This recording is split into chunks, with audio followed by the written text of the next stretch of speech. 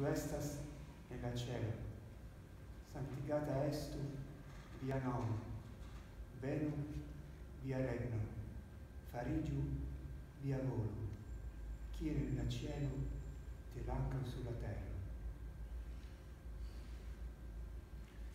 Chissà che faccia ha fatto Dio quando si è sentito arrivare un Padre nostro così.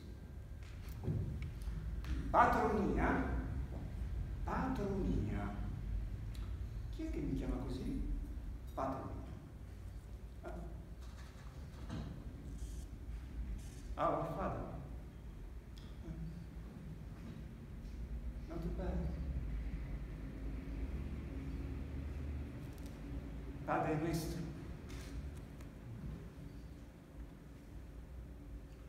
Baba Yetu. Baba Yetu. Patronia. Patronia. Non so se con Dio sia andata proprio così, non credo, ma se ha fatto una faccia non deve essere stata molto diversa da quella che hanno fatto a me tutti quelli a cui ho parlato di Esperanto. Sì, perché patronia, chi resta nel cielo, è Esperanto la lingua artificiale pianificata a tavolino nel 1887 da Leiter Ludwig Zapphoff, oculista, russo polacco, ebreo. Un uomo che pensò un'utopia, un uomo che senza vederla vide un'umanità diversa, un uomo con un sogno, una visione concreta da realizzare, un uomo che Imagine, un uomo che Air Dream, un uomo che per tutta la vita si è fatto una domanda. E se fossimo tutti, tutti fratelli, inter popoli l'amore in detruos, tra i popoli abbatteremo i muri, diceva così. Oggi, se parlate a qualcuno di Esperanto, vedrete comparire sul volto un'espressione di smarrimento, magari con un piccolo sorriso, come se ricordasse questo interlocutore, un vecchio amico sperduto nei ricordi, o magari un compagno di scuola, ecco, di cui non si sa più nulla, se non magari che non se la passa più tanto bene. Esperanto, ah, eh, eh, Esperanto, eh, Esperanto. Un giorno sull'autobus incontro una signora, una conoscente, che appena vede che ho in mano una grammatica esperanta mi dice ah, senti ma non vuoi vocabolario italiano, esperanto, esperanto italiano? E sì, sai, ce l'ho da tanto tempo a casa, me l'ha regalato tanti anni fa un mio amico regista, sì, un regista esperantista, e lo vuoi, te lo regalo? Grazie, magari passa a prendere un giorno di questi, ti ringrazio, sì, grazie. Poi lei prenota la fermata, mi si fa più vicino, a mezza voce mi dice senti, ma secondo te quante possibilità ha l'esperanto oggi? eh, una in più di quelle che ho avuto finora forse. Eh, ciao! Il mio amico Jerry invece lo colto di sorpresa una sera di settembre mentre legava la catena della sua Vespa. Esperanto. Ah sì, perché non ne è più parlato tanto. Bravo Jerry, non la rima, di Esperanto non se ne è più parlato tanto. No, in, in tempi di uh, global, uh, non global, new global, English, Spanglish, Globish, Oriente contro Occidente, Occidente contro Oriente, Euro, Eurabia, Europa Unita, di Esperanto non se ne è più parlato tanto. Ma immaginiamo di essere in una stanza, una stanza con le pareti piene di scaffali. Su ognuno di questi scaffali ci sono tanti puzzle in scatola. A ognuno di questi puzzle corrisponde una lingua parlata nel mondo. Sono tanti, centinaia, migliaia, eh, turco, eh, polacco, lituano, eh, armeno, francese, svedese, arabo, urdu, hindi, swahili. E sarebbe bello saper fare il disfare con facilità ciascuno di questi puzzle, eh? farebbe anche bene, è scientificamente provato, rinforzi i neuroni, eh, ma roba da passarci i pomeriggi interi a pancia sotto, eh, non ci va neanche tanto, e poi, e poi non c'è tempo, anche perché poi davanti a noi su un tavolino, già è pronto, c'è un altro puzzle, un puzzle che abbiamo imparato a fare disfare da piccoli per miracolo, perché poi di miracolo si tratta. E che adesso facciamo così in continuazione senza neanche più farci caso. È il puzzle della nostra lingua madre, la nostra cara amata lingua madre, e quindi che nessuno ci tocchi. No, nella stessa in un angolino, un po' impolverata, c'è una piccola scatola verde scatola dell'esperanto. Dicono che per fare questa scatola, questo puzzle, ci voglia meno tempo. Sì. E dicono che in questa scatola, in questo puzzle, ci siano meno pezzi e più facili da mettere assieme. Dicono che una volta che si è imparato a fare questo puzzle, diventi poi un po' più facile fare anche tutti gli altri puzzle. Dicono che questa scatola, questo puzzle, sia di tutti, ma non appartenga a nessuno. No, un momento. Meno pezzi, stessa possibilità di vedere comparire qualcosa di bello, di logico, di sensato come possibile? Per comprendere tutto ciò, signore e signori, è necessario conoscere i cinque fondamenti della comunicazione transnazionale, le cinque colonne portanti su cui si basa questa ardita costruzione linguistica, le cinque, eh, le cinque, le cinque vocali. A, E, I, O, U, perché in esperanto tutti i nomi comuni, eh, eh, lapadario, eh, specchio, eh, armadio, televisore, eh, stanza, finiscono sempre per O, mentre tutti gli aggettivi, bello, basso, piccolo, sporco, pulito, enorme, finiscono sempre tutti per A. Dunque, se oggi è stata una bella giornata, oggi è stata una bella tago. E i verbi come funzionano? Semplice. Se io indico un'azione che si svolge al presente, il verbo finisce sempre in as, indipendentemente dal nome della persona. Io, tu, voi, noi, sempre as. Mi amas, vi amas, ni amas. E se invece indico un'azione che si è svolta al passato, il verbo finisce sempre in is, indipendentemente dal nome della persona. Io voi sempre is. Mi amis, vi amis, ni amis. E il futuro os. Mi amos, vi amos, ni amos. E se poi invece in sala c'è qualcuno cui piace comandare, per comandare c'è l'imperativo. E per l'imperativo c'è la U. Parola Mangio, trinco. Sono l'ABC dell'esperanto, eh, intendiamoci, anzi, la A, I, O, U, R, ma il resto non è molto diverso. No, i pezzi sono di meno più facili da mettere assieme. Ma chi l'ha messa questa scatola qui? Chi è stato? È stato lui.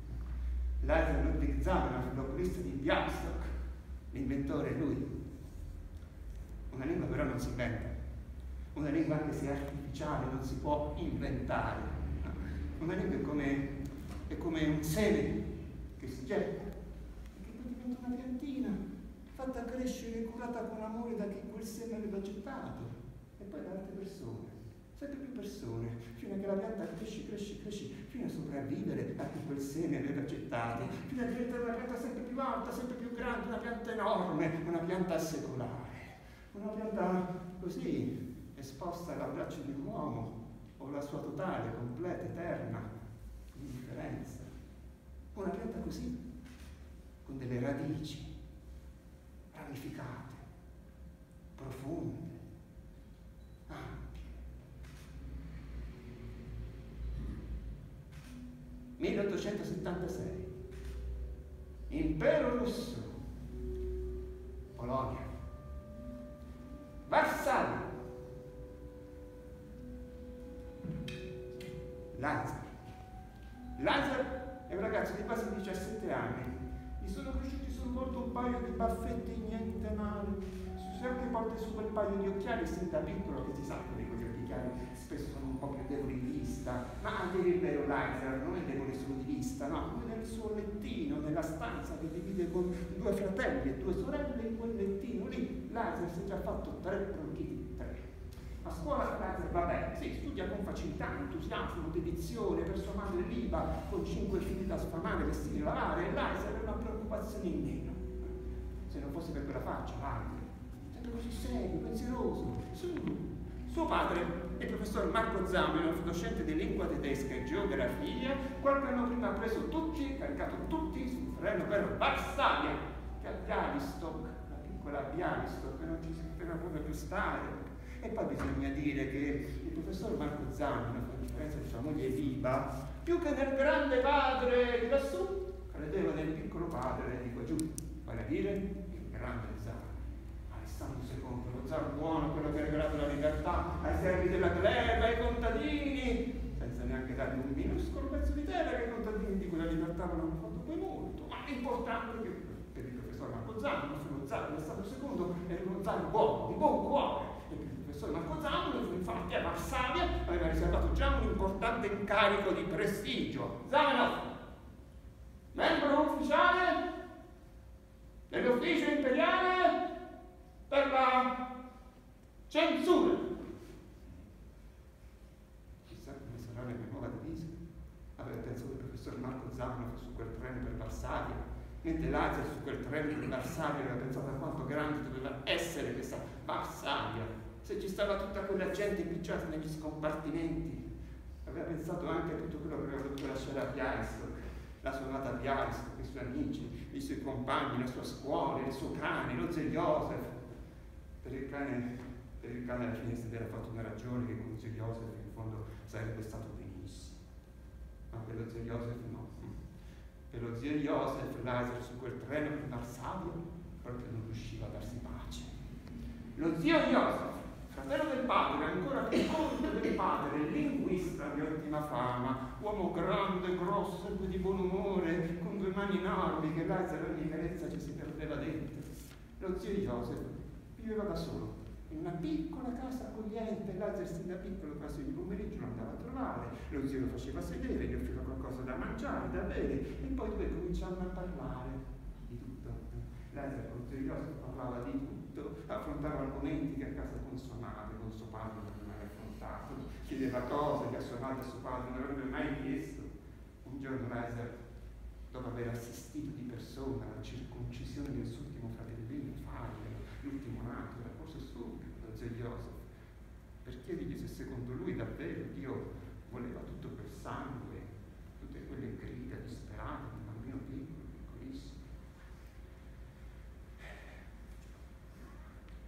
No, Lazzaro. No, Lazzaro, io credo che Dio non voglia il sangue di nessuno, Lazzaro, ma come posso spiegarti, Lazzaro? Come posso spiegarti? Ecco, Lazzaro, io credo ecco, che gli uomini si diano, come dire, da fare, si diano molto da fare per cercare di entrare nelle sue grazie, nelle grazie di Dio. Comprendi? E poi c'erano le storie della Bibbia, le stesse identiche storie che Lazzaro ogni martedì sera doveva leggere a casa con il padre nel suo studio, le stesse identiche storie a casa di zio Joseph diventavano altre storie, si trasformavano, acquistavano colori, sapori, tutti quei nomi complicati diventavano familiari. Il comportamento dei vari personaggi diventava oggetto di lunghe, appassionate discussioni tra Lazzaro e lo zio Joseph. Caino, Caino, zio, perché Caino ha ammazzato Abele? E poi perché ha detto a Dio di non sapere nulla dopo che l'aveva appena ucciso? Ma che faccia ha fatto davanti a Dio quando gli ha risposto così? E Abramo? Sì, davvero Abramo voleva uccidere suo figlio Isacco. Davvero Abramo parlava con Dio, ma come faceva davvero? E Mosè e gli uomini che seguivano Mosè nel deserto, perché a un certo punto si sono messi ad adorare anche un vitello d'oro.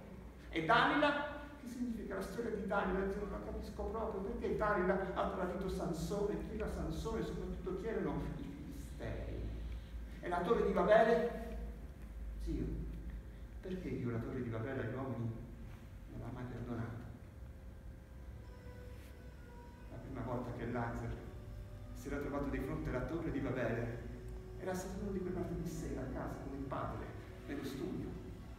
Leggiamo, Lazzaro, leggiamo. Dunque stasera leggiamo Genesi, capitolo 11, la torre di Babele. Lo leggi, Lazzaro? Leggi? Leggi?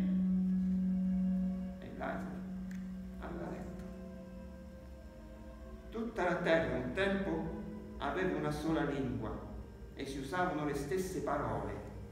Gli uomini, migrando da Oriente, erano capitati nella pianura di Sennar e lì si stabilirono. Poi si dissero l'un l'altro, venite, venite, prepariamo dei mattoni e cuociamoli al fuoco.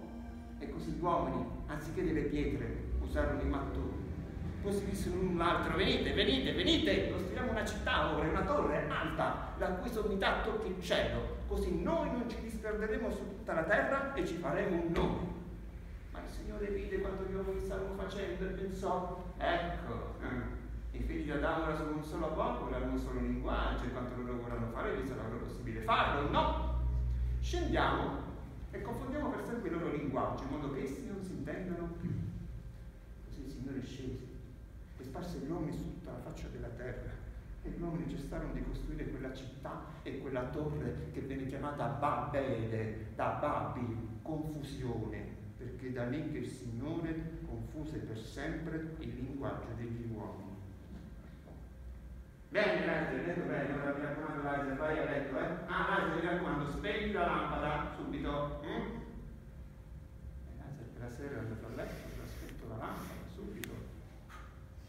Ha fatto un sogno, un incubo, un incubo che come tutti gli incubi all'inizio sembrava anche un bel sogno, perché Laser quella sera, quella notte, aveva sognato una miriade di uomini, di donne, dall'aspetto diverso, dal colore della pelle diverso, vivere tutti insieme in una grande torre alta e imponente, vivevano tutti insieme in questa torre, parlavano tutti quanti una, una lingua, un'unica lingua, che non sembrava neanche una lingua per quanto era dolce sublime ascoltarla, sembrava che quegli uomini, quelle donne, invece che parlare, cantassero. Poi all'improvviso in quel sogno calava un'immensa oscurità che riempiva ogni nascosto angolo di quella torre, qualcuno in quel buio cercava di arrivare in cima, ci arrivava e giunto lì sopra vedeva una nube grigia di cui non si vedeva l'inizio né il fine. La nube come un guanto avvolgeva la torre, la stringeva, la stringeva la, fino, a, fino a sbriciolarla, fino a farla diventare polvere. Intanto nel sogno si cominciavano a sentire anche delle grida, grida disperate, differenti l'una dall'altra, migliaia di grida differenti l'una dall'altra, polvere e grida, polvere e grida. Lazzaro si ricordava il sogno finiva così. Il giorno dopo era tornato di nascosto nello studio del padre per cercare nuove notizie sulla torre di Babele, ha trovato molte dissertazioni di illustri studiosi, la torre di Babele è il simbolo dell'arroganza umana, trovato anche molte illustrazioni. Sì, perché la torre di Babele aveva ispirato tanti artisti, c'è chi l'aveva ritratta a forma di spirale, chi piramidale, chi sferica, chi cubica, chi aveva immaginato una montagna di uomini incastrati uno sopra l'altro che cercavano di parlare tra di loro senza però riuscire a capirsi. Ma non era vero, non era vero perché gli uomini che stavano costruendo la torre si capivano benissimo e proprio per questo Dio li aveva voluti punire, castigare. Ma perché? Perché il Signore aveva voluto cancellare per sempre dall'orizzonte umano questa possibilità di armonia. E perché gli uomini avevano pronunciato quella frase? Così noi non ci disfratteremo su tutta la terra e ci faremo un nome. Che cos'era questo nome? E che cos'era per quella lingua parlata un tempo da tutti gli uomini con le stesse identiche parole. Quali erano queste parole? Zio Joseph, ti prego, la torre di Babele, ho cercato di non ci capisco niente. Zio Joseph, ti prego, la torre di Babele, ti prego, la torre di Babele. Lizer, calma. Lizer. Mi sembra che noi due questa sera dovevamo parlare d'altro. Dovevamo parlare di Giobbe. Sai che ti dico, Lizer? Possiamo farlo aspettare. Giobbe ha pazienza. Coraggio, siediti, parliamo di Babele. E così parlarono della torre di Babele, ma non solo quella volta, ma tante altre volte. Zio, perché Dio ha voluto che gli uomini non si comprendessero più l'uno con l'altro? Ma è davvero questo quello che ha voluto? E così Laisa, poco prima di partire per Varsavia, non più bambino, ma già ragazzo, si presenta dallo zio Joseph con in mano un manoscritto voluminoso di oltre 200 pagine, intitolato La Torre di Babele, dramma onirico in cinque atti. E sì, perché per Laisa quella storia che sta incomprensibile e oltre 200 pagine del suo dramma teatrale ne raccontavano in toni allucinati e lirici la tragica vicenda. Allora, zio, che cosa dici? Ma che cosa dico? Un bel lavoro, sì, perché qua era un po' ingenuo, però, però Liza, sai che ti dico? Continua a pensare a questa storia. Mm? Sì, Liza, continua a pensarci. Continua. Continua. Eh, continuato, anzi, aveva cominciato. Aveva cominciato a pensare sul serio, a una lingua comune a tutti gli uomini, una lingua accessibile a tutti gli uomini una lingua che andasse oltre le differenze accumulate nei secoli di storia e cercasse soprattutto le assonanze e su queste si basasse. Laser aveva cominciato, complice lo zio Joseph, a elaborare il suo progetto di una lingua universale. Come si inventa una lingua se una lingua non si inventa? Eh, come non so, il parafulmine, uno si mette lì buona volontà, un pezzo qui, un pezzo qui, un pezzo qui, un pezzo qui. Signore e signori, inventate il parafulmine! No, non funziona così. Eh no, una lingua bisogna che si evolva naturalmente, che, che, che, che, è un processo naturale, che richiede anni, secoli, millenni forse, no? una lingua, una lingua è come, non so, come dire, come, come una roccia scolpita lentamente dalle acque, ma dove fa partire la prima goccia. Dunque, pensava Lazzaro, pensava Lazzaro, si potrebbe prendere una bella lingua già esistente magari semplificarla, prendiamo una bella lingua classica, il latino, il latino che è già un passato glorioso di lingua transnazionale, prendiamo il latino e lo semplifichiamo, togliamo qualche coniugazione, declinazione 5, no, uh, gentili, via, deponenti, via, participi, via, uh, supini, via, via, via. Almeno così. Una lingua tutta incerottata, nata storpia, un posto le forme. No, no, no. Allora meglio una lingua moderna, sì, prendiamo una lingua moderna e la razionalizziamo. Sì, creiamo un linguaggio essenziale che serve alla vita quotidiana. Ecco, per esempio, tutti questi sinonimi, che cosa servono? Tutti questi significati? Una parola, un significato, un significato, una parola. Dipingere la cappella Sistina con un'unica indefinita pennellata di grigi. Pensava che fosse la soluzione a una certa volta illustro di uomini prima di me, ma sì, io in confronto a grandi pensatori eh, come eh, quelli del Seicento, per esempio, eh, Comenio, Cartesio, Leibniz, che hanno cominciato a lavorare il loro pensiero, il loro, il loro progetto di una lingua perfetta, autonomica, basata su categorie del pensiero, su associazioni filosofiche, beh, una lingua per pochi ma buono, ma sempre buono. Allora la meglio soluzione il francese. Il francese, come si chiama? Sudre, il francese Jean-François Sudre, che qualche anno prima, nel 1840, ha inventato il sol, re, sol, la lingua musicale, la lingua in cui ogni sillaba corrisponde a una nota musicale. Sol, re, sol, mi, fa, la, do, re, mi, sol, fa, mi, re, mi, fa, sol, fa, re, un infinito numero di combinazioni possibili, con infinito numero di regole per porre limite all'infinito numero di combinazioni possibili. No! La mia lingua dovrà seguire i seguenti requisiti fondamentali. Dovrà essere di facile apprendimento, semplice grammatica e semplice vocabolario. Dovrà essere capace di evolvere naturalmente dovrà essere capace di esprimere il sapere umano in tutte quante le sue sfumature. Mm, bravo, bravo. Ma dove fa partire la prima goccia? Questa ancora non era chiara. Zio Joseph? Zio Joseph? Zio Joseph? Light! Mi poni delle domande da far tremare le vene e polsi a generazioni di studiosi. Light! Una lingua universale non basta, mi scrivi della tua lettera. A che cosa serve poi una lingua universale? Quando in realtà bisognerebbe ricreare l'uomo dalle sue fondamenta, mi scrivi nella tua lettera. Light!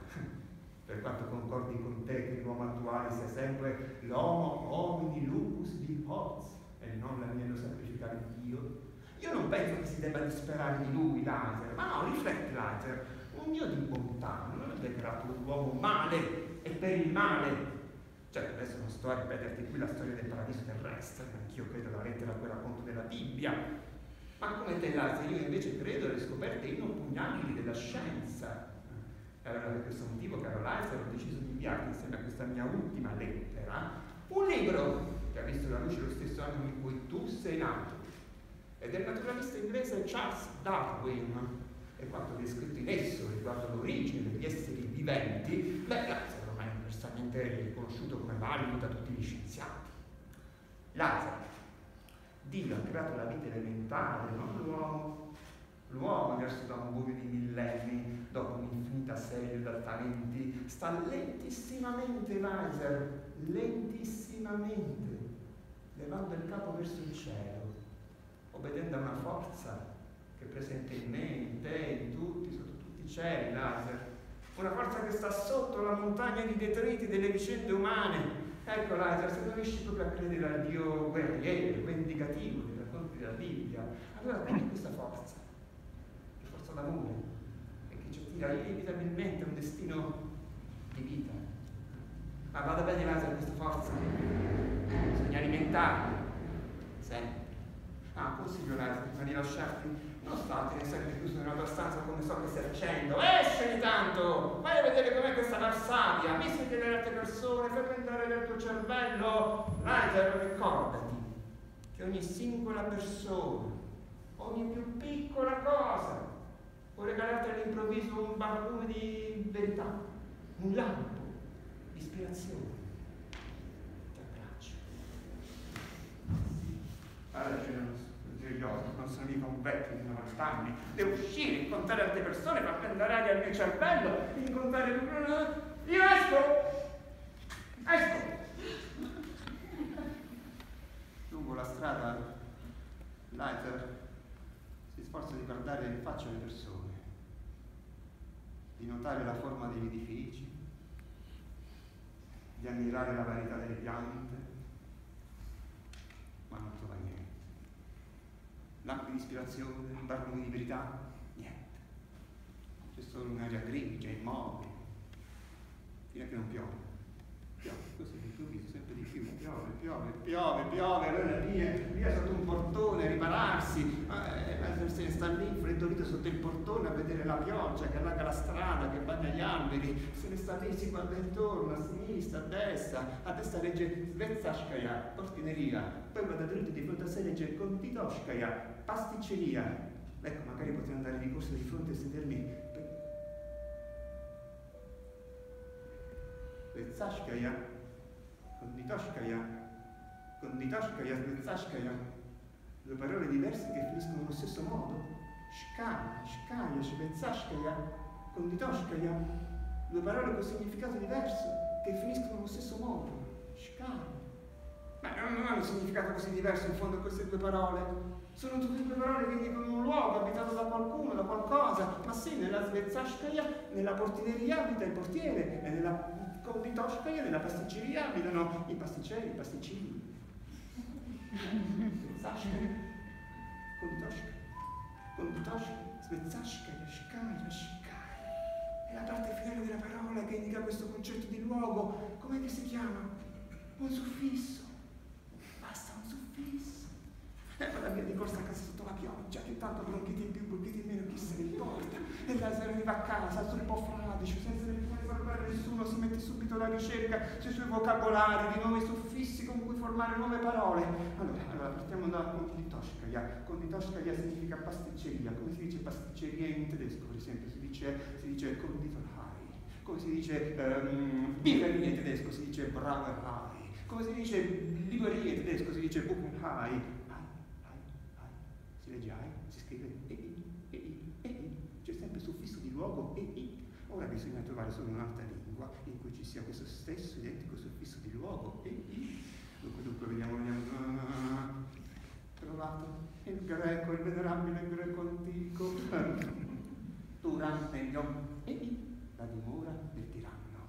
Basileio, EI, la dimora del re. Nunfeio, EI, la dimora delle lingue inauguriamo un quaderno, il quaderno dei suffissi e I, suffisso che indica luogo atto ad ospitare persone, cose o attività. Oh, un altro suffisso, un altro suffisso ci vuole dunque, questo non è trovato. In, il suffisso che indica il femminile, c'è in tantissime lingue, latino, gallus, gallina, in, res, regina, in italiano re, regina, in greco leo, leana, in uh, tedesco arbeiter, arbeiterin, in spagnolo re, reina, in russo bog, boginia, in inglese king, queen, in... E poi com'era quella storia ho letto dei principi di forza e sostanza secondo la filosofia orientale? Lo yang e lo yin. Lo yang, principio di forza attivo, positivo, maschile. Lo yin, principio di forza passivo, negativo in, suffisso che indica il femminile, viro, uomo, virino, donna. Caro zio Joseph, scusa se ho fatto passare tanto tempo dalla tua ultima lettera, zio, ma sono stato molto indaffarato ultimamente. Zio, ora sento che la mia lingua potrà finalmente nascere e svilupparsi. Sai, zio, ha già un suo piccolo vocabolario, anche un suo nome. Sai come si chiama, zio? Lingua universale. Sì, eh, vuoi sapere come vado avanti nel mio lavoro, zio? Ora ti spiego. Dunque, mi metto attorno, tutti intorno a me, i vocabolari delle varie lingue che ho. Poi mm, tiro fuori un elenco di parole che ho precedentemente preparato scelgo una parola, cerco e se in almeno 5 o 6 lingue trovo una radice comune di questa parola, allora segno questa radice come probabile della formazione di una nuova parola nella nuova lingua universale. Ecco, all'inizio pensavo che fossero poche le parole a presentare una tale caratteristica di frequenza della radice, e invece no, zio, sono la maggioranza! Senza contare tutte quelle che si possono formare con, con uh, suffissi, prefissi, affissi. E così il progetto di Laser, il progetto di Laser prende sempre più forma. E i suoi quaderni aumentano, aumentano, aumentano, aumentano, aumentano, aumentano, aumentano, fino a diventare troppi, almeno per suo padre. Laser intanto ha finito il liceo, carico di medaglie, di ottimi voti, ma ora già l'aspetta all'università, la madre di tutte le università, a Mosca. Laser, tieni per favore. Laser, è giunto il momento di parlare noi due. Vedi Laser, ti vorrei chiedere di non occuparti più della tua lingua fino a che tu non ti sarai laureato. Sì, non so cosa rinunci ti seguiti in tutti questi anni, cosa credi, la tua passione per le parole. Eh? Ora tu Laser devi crearti una professione onorevole. Farai il medico che lo sai, non è una professione onorevole che ci è consentita, il medico. E Lazzaro ragiona che medico saresti agli occhi delle persone se invece di stare dietro i tuoi pazienti te ne stessi dietro ai tuoi, ai tuoi vocabolari, alle tue grammatiche. Te lo dico io, Lazzaro. Un eccentrico. Basta una piccola mania, Lazzaro, agli occhi della gente si diventa subito un eccentrico. Aspetta, Lazzaro, un'ultima cosa. Ti vorrei chiedere, prima di partire, di lasciarmi impegno qualcosa. I tuoi quaderni, tutti i tuoi quaderni. Io li conserverò naturalmente, quando vorrai te li restituirò. Ma adesso ti prego, Lazzaro, consegnami. Sarà meglio così. E Lazzaro, senza nemmeno dire una parola, va nella sua stanza, raccoglie tutti i suoi quaderni, si ferma un attimo a osservare la scrivania, vuota, come non la vedeva da tempo. Torna di là, dal padre, gli consegna tutto quanto, le vede suo padre di spalle, chiude la chiave nel cassetto, tutti i suoi quaderni. A Mosca ora, a Mosca. A Mosca Laisa per una lezione data di medicina, scrive a sua madre che gli scrive spesso a sua volta um, dicendogli di stare attento, um, mangiare, uh, di coprirsi bene con quel gelo, eh, di stare attento soprattutto alle suole delle scarpe, sì, che, che non lasciano passare l'umidità, ecco, sì. Um, e, e Laisa, mi raccomando, non pensare solo alla medicina, eh, ma magari anche a qualche, anche a qualche signorina. Mamma, mamma, non ti preoccupare, eh? non penso solo alla medicina, mangio, mi copro, sto attento alle suole delle scarpe e non penso solo alla medicina, mamma, cosa credi? Eh? La letteratura russa, per esempio, mamma, mi affascina sempre di più, sai? Lazio era all'università, ha conosciuto alcuni giovani scrittori, sì, uh, uno oltre di loro frequentava la sua stessa facoltà di medicina, particolarmente bravo, ha già scritto dei raccontini divertenti, secondo Laser, si chiama Chekhov, Anton Chekhov, il dottor Chekhov, il futuro dottor Zaminov, sono quasi coetanei, il futuro dottor Chekhov, sono un anno più giovane del futuro dottor Zaminov, il futuro dottor Chekhov, il futuro dottor Zaminov diventano amici, presto fanno lunghe passeggiate insieme lungo i viali di Mosca e discutono, discutono.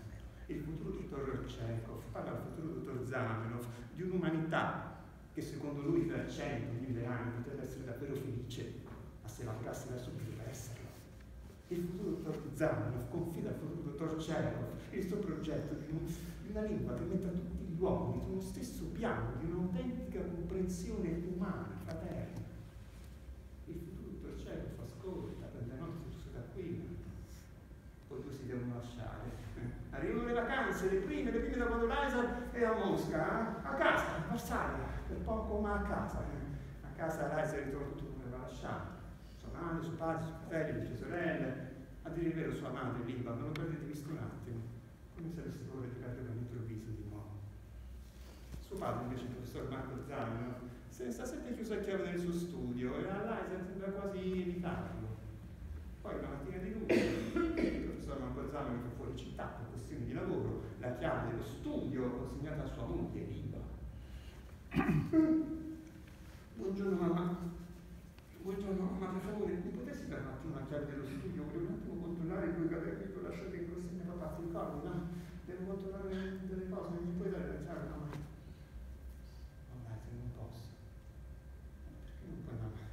Ah, non ti preoccupare, mi tutto a posto, questione di 5 minuti poi chiudo. Non ti preoccupare, mamma. Devo controllare una questione grammaticale di una Tutta la notte ci penso, non me affatto. Non riesco a ricordarmi come ho risolto. Mamma, per favore, mi dai la chiave? padre ha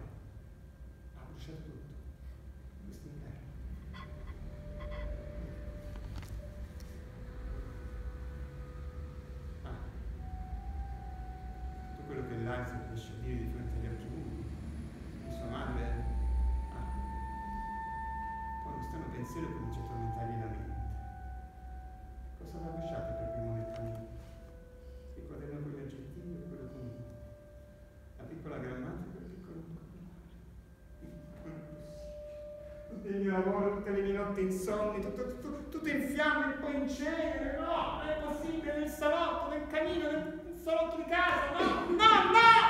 Ma dato quello era una mia lingua universale, ma no, ma adesso l'ho capito che non basta dirigere un vocabolario per inventare una lingua, non basta scrivere due regole per inventare una lingua, ma no, una lingua bisogna che abbia come, come un'anima, come un'idea interna che la sorregga, che la faccia vivere, come, come un fuoco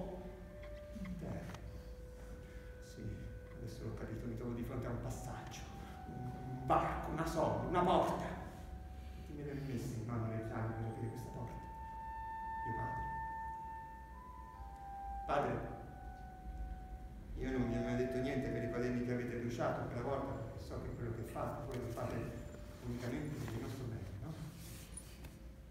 Però padre, ora io mi ritengo sciolto, libero dalla promessa che avevo fatto, perché ormai mi sto per laureare, manca poco, pochissimo. Allora padre, io ora allora vi chiedo di lasciarmi fare quello che veramente io voglio fare. E vi chiedo di aiutarmi, sì. Vi chiedo di aiutarmi, ho bisogno anche del vostro aiuto. La risposta del professor Marco Zano allora silenzio. Caro signore, mi sono laureato, non puoi immaginare la mia felicità ma neanche lo strano sentimento da cui essa è come velata. Vedi, zio, io ora mi sento come se fossi giunto sul limite di un enorme altopiano. Da cui si vede uno sconfinato paesaggio bellissimo, ma allo stesso tempo sento che se solo faccio un alto minuscolo passo in avanti, davanti a me. Cioè... Leiter! Ho scoperto una cosa! Devo dirti una cosa importante, la lingua universale esiste già! Sì, Leiter, il Volapiuc, la lingua del mondo, un pastore cattolico del Baden. L'altro il volato con molto successo, il reverendo Martin Schleyer pubblica già una rivista scritta interamente in vola più lingua del mondo. L'anno scorso in Germania ha organizzato un congresso universale in onore del vola più, la lingua del mondo, Leiser, il vola più, la del mondo. Caro Dio, ho esaminato a lungo il vola più del reverendo Martin Schleyer sì, è vero. Un giorno qualcuno scriverà correttamente in vola più la lingua del mondo. Ma sfido chiunque a parlarlo correttamente, zio. È una lingua totalmente incomprensibile. Tutte le parole finiscono in consonante, sono tutte parole tronche, tutti monosillabi, si assomigliano tutti terribilmente tra di loro. Ascolta, ascolta, ascolta, ascolta. Allora. Bab, pub, pap, pap. Pep, Beb, Pep, Beb, Pip, Pib, Bib, Pip, Pop, Bop, Pop, Bop, Pup, Pup, non ce la faccio, zio. Però una cosa buona è che prendo Schlein me l'ha lasciata. Eh sì, perché vedi, vedendo tutti difetti dell'opera sua, io ora mi sono reso conto di tutti i difetti dell'opera mia. La mia lingua che non chiamerò più universale, perché a differenza del vola più che non vuole eliminare alcuna lingua esistente al mondo, la mia lingua internazionale andrà semplificata. Sì, sì, sì, eliminerò tutte le parole tronche, per carità. Ho già pensato a un sistema di vocali, zio, per, per i verbi. Sì. Ma se tanta gente ha mostrato interesse per una lingua complessa, diciamo, come vola più. Ora sento che la mia lingua potrà finalmente nascere e affermarsi. Ora ti devo lasciare, sì. Devo studiare per il mio esame di specializzazione. Sai, zio, senza esitazione ho scelto oculisti. Senza esitare Lazzaro ha scelto oculisti. Sarà stato per quegli occhiali sui suoi occhi sin da piccolo che gli hanno fatto vedere il mondo. O sarà stato perché davvero Lazzaro pensava che dietro gli occhi si nascondesse l'anima delle persone. E che quell'anima si potesse osservare, scrutare, curare se necessario. E Lazzaro non osservare tutti i tipi di occhi. Gli occhi sempre bassi di chi nasconde sempre se stesso agli altri. Oppure gli occhi di chi il proprio sguardo agli altri lo offre diretto, aperto, senza veli, senza paura.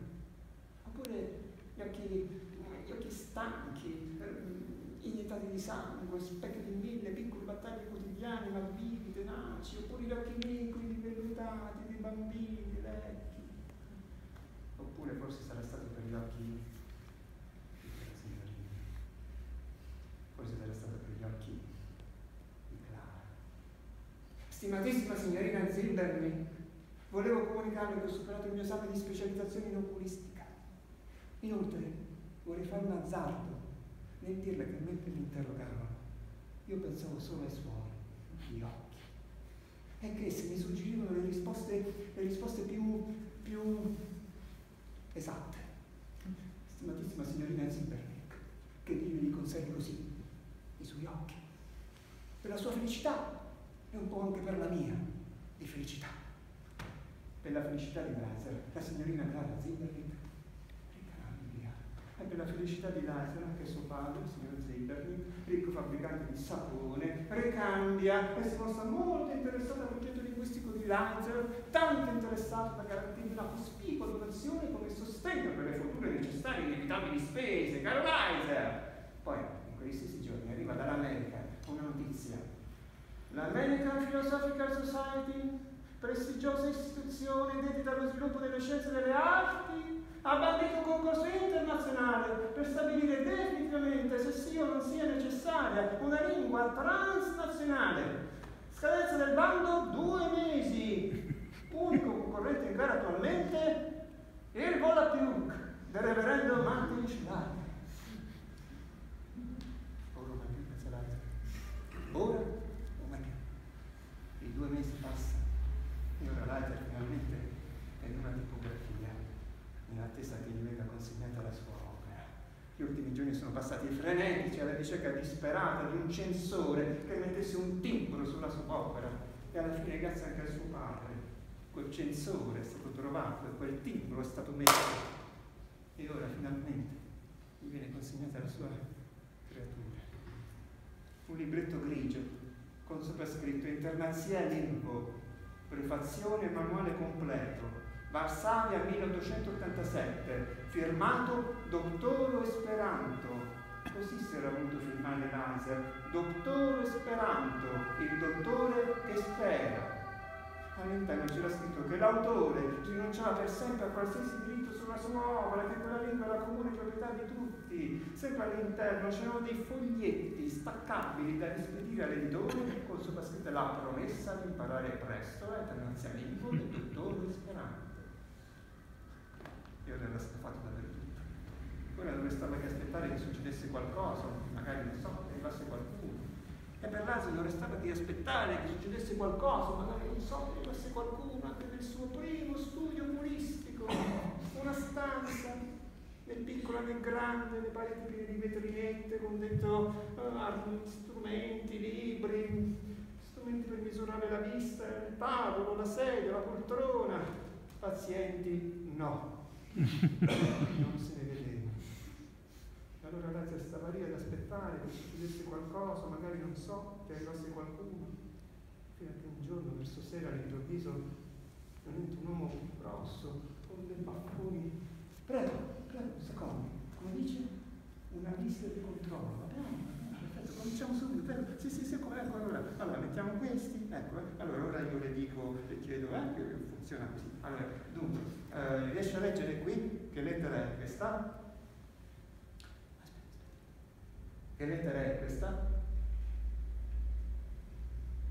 Questa? Questa?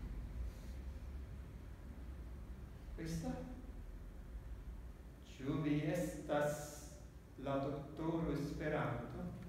Siete voi il dottoro Esperanto?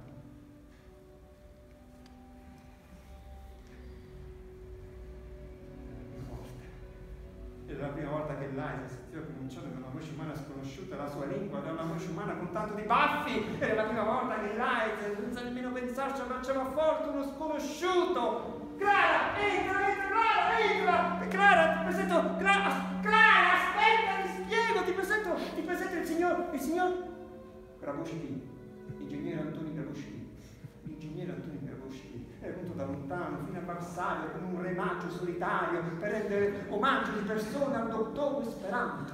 L'ingegnere Antonio Gavoschi era stato il primo, ma intanto all'editore arrivavano le due promesse. Prima poi, poi sempre di promesse, promesse, promesse, promesse, prometto di imparare presto la lingua del dottore Speranto, la lingua internazionale mi piace, è facile, altro che vola più. Voglio far conoscere a tutti la lingua del dottore Speranto, ho già imparato la lingua internazionale del dottore Speranto, imparerò presto la lingua internazionale del dottore Speranto, voglio far conoscere tutti la lingua del dottore Speranto, imparerò presto la lingua internazionale del dottore Speranto, PS, post scriptum. Ma perché non lo chiamiamo Speranto? Ed Speranto. Dio, Dio Joseph, una lettera dall'America è il verdetto. Ascolta che dice. La proposta pervenutaci dal dottor Zamenhof di Varsavia ci appare la proposta più concreta, semplice e razionale. I principi su cui essa si fonda sono del tutto esatti. Ho vinto, ho vinto io, la mia lingua, zio, io ho vinto, ho vinto, zio, che reverendo Schleiner, vada pure! La pace. zio Joseph lesse quella lettera, ma non fece in tempo a rispondere, se ne andò via prima, per sempre. Proprio adesso se ne andava lo zio Joseph. Laser non capiva che cos'è questo zio, un inizio e una fine, non capisco. Era tornata a Bialystok, Laser, per i funerali di suo zio, ora se ne stava lì in quel piccolo cimitero, tornato da tante facce, un tempo tutte bambine, un tempo tutte amiche, ora tutte troppo uguali l'una all'altra troppo adulte e l'avevano lasciato lì da solo davanti alla tomba dello zio. Zio, forse aveva ragione tuo fratello. Mio padre, quando nello studio mi diceva sempre, Lanzer, a questo mondo le belle idee restano sempre solo delle belle idee, a questo mondo ci vogliono fatti, concreti sotto gli occhi di tutti. Anzi, non sono un fatto concreto di uomini sconosciuti che si abbracciano commossi nel mezzo di uno studio non sono un fatto concreto anche gli altri attestazioni di interessi, di partecipazione anche dei grandi uomini, zio Tolstoi si è impegnato a diffondere personalmente la nostra lingua, collabora già alla nostra rivista, Tolstoi. Certo, sono fatte anche le sentenze liquidatorie di chi dice occuparsi di una lingua universale è l'idiozia assoluta. Punto. Zio, ma io non sono così idiota da pensare che con l'esperanto gli uomini all'improvviso diventino angeli. Ah no, io so che Esperanto si può dire io uccido. Anche l'esperanto, perché no? L'esperanto è un fine. Non è un fine, è un mezzo. È un mezzo, un mezzo per, arri- per arrivare in cima alla torre di tocca il cielo, forse. Ma per arrivare lassù, zio, ci vogliono fatti concreti sotto gli occhi di tutti. Parigi, 1905, a vederlo agosto, a vederlo da lassù, Leiter Ludwig Zamenhof è un puntino minuscolo, un puntino minuscolo insieme ad altri puntini minuscoli, ma lui, Leiter Ludwig Zamenhof, è ancora più puntino, è ancora più minuscolo. Piccolo uomo con occhiali, testa indietro, e occhi in alto, più in alto possibile, a perdersi il più in alto possibile, e piedi della nuova portentosa sfida umana nel nome del progresso e dell'avvenire, la Tour Eiffel piccolo uomo con occhiali, testa indietro, più in alto, più in alto possibile, ai piedi del nuovo secolo, il Novecento. E per questo nuovo secolo che l'ingegnere Gustavo Eiffel ha voluto regalare al mondo questa meraviglia di ferro marrone. Gliel'ha regalata nel 1889, l'anno della grande esposizione universale, l'anno in cui Parigi e il mondo sono stati un'unica cosa. E adesso, 15 anni dopo, sotto la torre più alta del mondo, sotto gli stessi occhi dolci di quel mondo c'era anche lui, Isaac Ludwig Zamenhof, e la sua creatura, l'esperanto. Ma di passaggio, I passaggi sono solo i passaggi, la destinazione è Boulogne sur mer, primo congresso universale di Speranza. Quell'agosto, per l'estate di Boulogne, la gente parla una lingua che ognuno sente sua, né più nemmeno di quanto non la senta sua l'altro, l'interlocutore è venuto un po' chissà da dove. Sulla facciata del municipio c'è un grande striscione con sopra scritto Boulogne-sur-Mer, bonvenigas la esperantistum della tuta mondo. Boulogne-sur-Mer, dal benvenuto agli esperantisti del mondo. La banda suona sul marciapiede, tutti aspettano che parli lui. Ecco, eccolo, sta salendo sul podio. È lui, è lui, con gli occhiali. È lui, è lui, è lui. Vivu! Vivu! Vivu la dottore Esperanto! Anno nuovo, città nuova, congresso nuovo. Dresda, Cracovia, Washington, Anversa, Barcellona, Cambridge e poi di nuovo Parigi. 1914. Deca, Universale Congresso dell'Esperanto l'esperantissimo di tutto mondo quell'anno si ritrovano al Momon Palazzo di Parigi, il più grande cinema del mondo, la più grande sala cinematografica del mondo, signori! E andava bene, il più grande cinema del mondo per far vivere questa storia. Andava bene, un grande schermo bianco, da voler riempire con le proprie immagini, prima ancora che quello schermo bianco si riempie d'altro. Un grande schermo bianco, da voler riempire con il proprio sogno, prima ancora che quello schermo bianco si riempie d'altro. Un grande schermo bianco prima ancora che quello schermo bianco diventi nero, solo nero, nero di guerra, nero di morte. A vederlo il Novecento stagliarsi contro il cielo sotto forma di ferro marrone, quella volta l'Aiser la guerra non l'aveva vista lassù, non gli era sembrato di scorgerla. Eppure c'era, era solo la prima di quel nuovo secolo, ma sufficientemente atroce per chiudere per sempre i suoi occhi. 1917, aprile, L'esperantissimi della tutta mondo quell'anno si ritrovano a Varsavia, dietro un caro funebre, il caro funebre di Langel, Ludwig, Zapp, del dottor Sperano.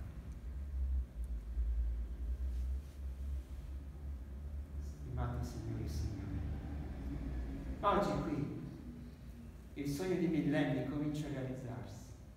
Oggi qui in questa piccola città della costa francese, Boulogne-sur-Mer, sono convenuti uomini e donne dalle più diverse parti del mondo e per la prima volta si incontrano non come muti e sordi, ma come fratelli, si comprendono l'un l'altro. Oggi qui non si incontrano russi con polacchi, francesi con inglesi, ma uomini con uomini. Oggi qui noi siamo per dimostrare al mondo, con fatti irrefutabili, ciò che il mondo finora non vuole vedere. A me, a me piace una canzone, si intitola Rumore di niente. Comincia così. L'avevi creduto davvero che abbiamo parlato speranto, l'avevi creduto davvero, l'avevi sperato soltanto. Poi fa, babbo, c'è un assassino, non fare bussare. Babbo, c'è un indovino, non lo fare parlare. Babbo, c'è un bianchino vestito uomo e c'è la pelle di un vecchio serpente appena uscita da un uovo.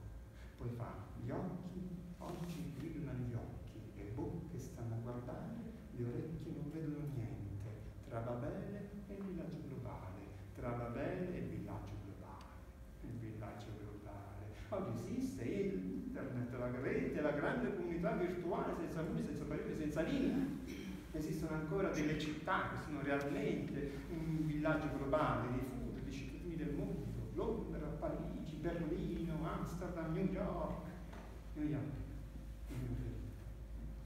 Sono stato a New York nel 2001, beh, con tutto il resto, nel 2001 siamo stati a New York, ma io sono stato che stava finendo l'estate, per un viaggio di piacere per migliorare un po' il mio inglese. E la classe del mio corso di inglese, a sua volta, è a New York, un piccolo villaggio globale, perché oltre me in quella classe c'erano uh, due francesi, una turca, una peruviana, uno sloveno, una neozelandese e un italiano. L'italiano era una casa di Bologna, di vicino Bologna, di San Lazzaro esattamente, e si chiamava Lazzaro. Perché mi ha detto che i suoi genitori l'hanno chiamato Lazzaro come il nonno Lazzaro, lui di San Lazzaro, che chiamarsi Lazzaro. Ah, San Lazzaro non era una cosa così strana. E il nonno Lazzaro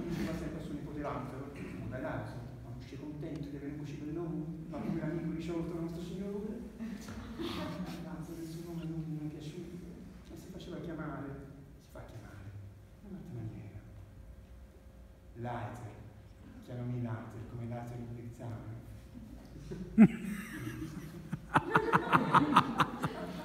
Così, mi ha raccontato la storia di Lazzaro, mi ha raccontato che cos'è l'esperanto, mi ha spiegato che cos'è l'esperanto, mi ha spiegato che cos'è anche l'omaranismo, scusate, omaranismo, Omaranismo deriva da umano, che in esperanto significa umanità. E l'omaranismo è la dottrina ideale di Leiser Ludwig Zamenhof, è quell'idea interna necessaria, quel fuoco interno necessario.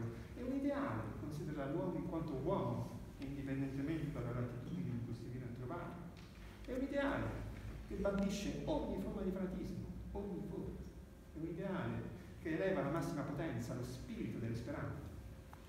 Quella mattina, la mattina delle 11, prima di andare a fare il nostro corso di inglese, io e Lager, fare colazione insieme in un bar, un bar, posto assurdo di quelli che sono New York. Pavimento che cambiava colore ogni 10 secondi. Vetrate sgargianti neanche fossimo a Las Vegas. Camerieri virtuali sotto forma di colonnine smovibili parlanti su cui prendere dei codici. In alto, sospese nel vuoto, piramidi di televisori sintonizzati sui vari punti del mondo. E io e Laser seduti al nostro tavolino a fare le colazioni. E Laser ha fuori delle fotografie, quelle del, del congresso universale di Esperanto dell'anno, dell'anno prima, a Sydney del 2000. Eh, sì, eh, c'era stato anche lui. Poi, poi ha tirato fuori uh, un libro, uh, Italiano Lamberti, Laser Ludwig Zamenhof, una voce per il mondo. Sì, sì, una biografia di Zamenhof. Guarda, guarda le foto, guarda le foto. Vedi? Ecco, questa è Zamenhof con sua moglie. Eh, era proprio una bellezza, no? Insomma, che ci vuoi dire? Eh, guarda, le congressi, vedi? Cracovia, Washington, Anversa, Barcellona, sì, persone, visto? E poi sono fermato a sfogliare da solo il libro. E mi sono fermato per caso a pagina 334, dove c'era una cosa scritta dal filosofo inglese Bertrand Russell. Anche lui seguace dell'umananismo, lo sapevi? Il giovane Russell, poco dopo la morte di Zamenhof, mentre era in carcere accusato di pacifismo, scriveva così. Nei giorni più oscuri gli uomini hanno bisogno di una fede, di una speranza ben concreta e del calmo coraggio che non teme la via. Quanto vediamo succedere oggi ha dato conferma a quanto noi credevamo.